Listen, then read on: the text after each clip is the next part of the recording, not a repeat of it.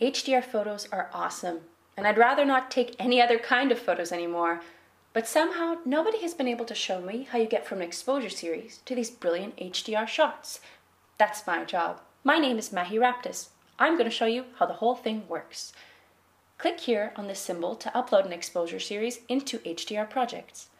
Select the three images, hit open. Continue with this arrow pointing to the right. Then you'll see how your shots will be assembled into a single photo.